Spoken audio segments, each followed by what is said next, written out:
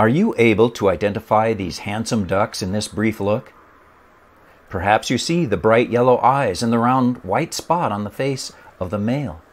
You therefore identify these as a pair of common goldeneye. Here's a flock at a distance. There's one adult male common goldeneye in this group. But what about the other seven birds? There seem to be four females and three immature males. But are they all common goldeneye? Might one be a Barrow's goldeneye? Are they all even golden goldeneyes? Bufflehead and common goldeneyes are in the same genus, Bucephala. That name means bull-headed, a reference to the large puffy heads of these ducks. Note that the white spot of the goldeneye is on the front of the face near the bill, below and in front of the eye. There is a large white wedge on the back of the head of the male bufflehead, the female bufflehead has a thick white line on the cheek to the back of the head. Male scaups, both greater and lesser, do not have any white on the face. The female scaup has a white crescent reaching around the bill. Note that it reaches over the top of the blue bill. The bill of the male goldeneyes is black. Compare now female lesser scaup with immature male common goldeneye. The immature male common goldeneye has a messy facial spot on a brown head. Again, though, note the blue bill on the scaup. You're not going to mistake the redhead with its blue bill with a female goldeneye, right? But at a distance, or in fog or drizzle, they may appear similar at first. And the skinny red bill and long body of the merganser is quite different from the large wedge-shaped bill and short stocky body of the goldeneye. Common goldeneyes breed in Alaska and across Canada they also breed in Europe and across Central Asia.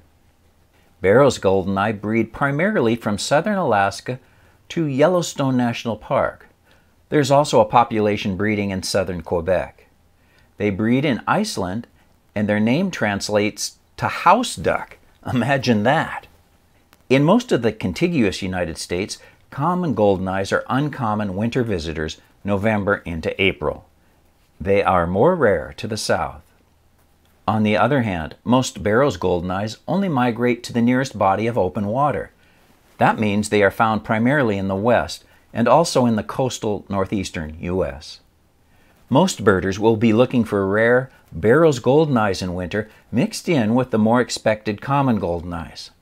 Look for them on larger reservoirs, rivers, and coastal bays.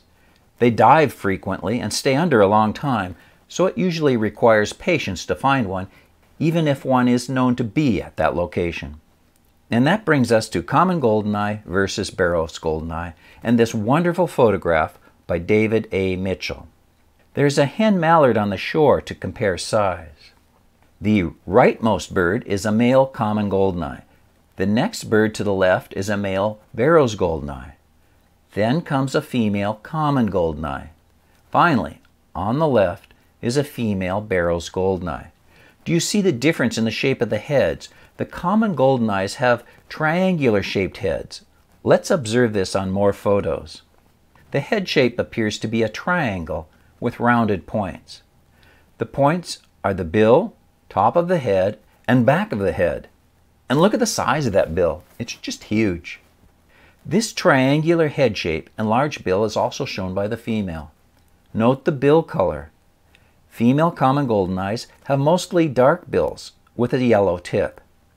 The head shape of the Barrow's goldeneye is subtly different. The forehead of the male is steep and reaches forward.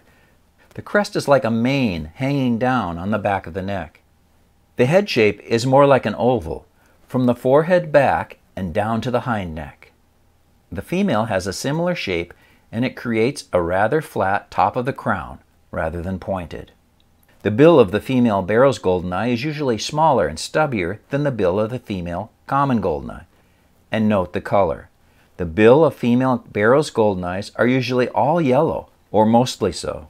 Now we're going to go back and look at the amount of white on the sides of the males. Common goldeneye have white scapulars and big white wing patches on both the secondaries and coverts. Barrow's goldeneyes have less white on the scapulars and secondary coverts, Thus, when swimming, their wings have more black and less white showing. Here's a female Barrow's goldeneye showing white secondaries. Look again at this pair of Barrow's goldeneye. Do you see the head shape with steep forehead, stubbier yellow bill of the female, less white on the wing? Not all birds are going to be so sharply marked. Here is an immature male in April, about a year old.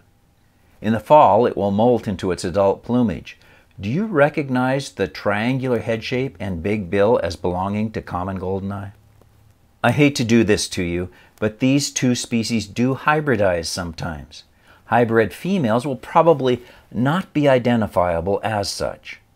But look at this adult male. This is a presumed hybrid. For the most part, it looks like a Barrow's goldeneye. Head shape is right, limited amount of white on the wings fit. The bill is a bit large. The white spot on the face is a bit too oval and not crescent shaped. And it has greenish head sheen matching common goldeneye. Head sheen depends on the angle of the sun, angle of the bird's head, and angle to the observer. Male common goldeneyes typically show a green head sheen. Male Barrow's goldeneye typically show a purplish head sheen but these are feather structural colors, not pigments. The actual color of the feathers is black. These head colors are suggestive, not diagnostic. What's the lesson? Not all birds can be identified with certainty. Click on this video to identify unusual plumages of red-tailed hawks.